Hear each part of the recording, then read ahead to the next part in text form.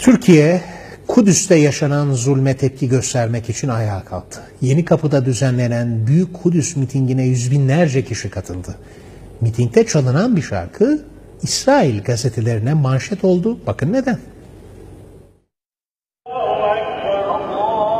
Müslümanların ilk kıblesi Mescidi Aksa. Yıllardır İsrail'in alçak saldırıları altında. Ancak son günlerde zulmün şiddeti arttıkça arttı. Müslümanlara giriş yasaklandı. Aksa'daki Müslümanlar canları ile direnirken Türkiye'de ayağa kalktı. Yüz binler İsrail zulmüne dur demek için İstanbul'da Yeni Kapı miting alanında buluştu. Saadet Partisi öncülüğünde birçok sivil toplum kuruluşunun katılımıyla düzenlenen Büyük Kudüs mitinginde alan hınca hınç doldu. Miting için alana büyük bir platform kuruldu. Vatandaşların mitingi daha rahat takip edebilmesi için farklı yerlere dev kolonlar ve ekranlar yerleştirildi.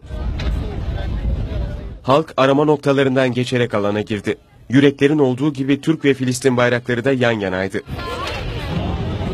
Büyük Kudüs mitingine Saadet Partisi Genel Başkanı Temel Karamollaoğlu, Yüksek İstişare Kurulu Başkanı Oğuzhan Asiltürk, Memur Sen Genel Başkanı Ali Yalçın, İHH Genel Başkan Vekili Hüseyin Oruç, Hukukçular Derneği Genel Başkanı Cavit Tatlı, AK Parti Kocaeli Milletvekilleri Sami Çakır ve Cemil Yaman ve CHP İstanbul Milletvekilleri Mahmut Tanal, İlhan Kesici de katıldı. Gazze'de patlayan bir bomba dakikadan Abuca'ya, Kuala Lumpur'dan İslamabad'a, Jakarta'dan Kahire'ye, Şam'dan Cidde'ye, Tahran'dan İstanbul'a aynı acıyla yürekleri yakmaktadır. Muhterem kardeşlerim, tarih boyunca tevhid ve adalete inananlar olarak bizim ecdadımız Kudüs'ü barış yurdu haline getirmişlerdir. Kuvveti üstün tutan zalimler ise bu kutlu beldeyi zulme boğmuş ve çatışma diyarına dönüştürmüşlerdir. Kudüs bugün Siyonizmin topyekün kuşatması ile karşı karşıyadır. Bu kuşatma aynı zamanda küresel bir kuşatmadır. Bu küresel kuşatmaya ancak küresel bir direnişle karşılık verebiliriz. Karamollaoğlu İslam ülkelerine seslendi. Eğer günü gözünüz kesmiyor, gücünüz fiili bir adım atmaya yetmiyorsa, hiç olmazsa şu zalim İsrail'e, İsrail'le bütün müsa münasebetlerinizi kesiniz.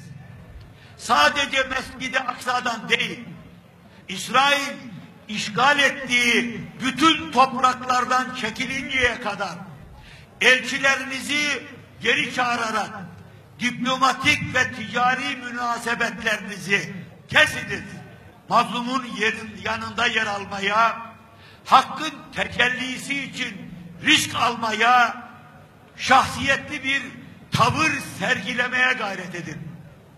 Bilin ki İsrail sadece güçten anlar. Siz bir kararlılık gösterin, bakın sonu nasıl gelecek.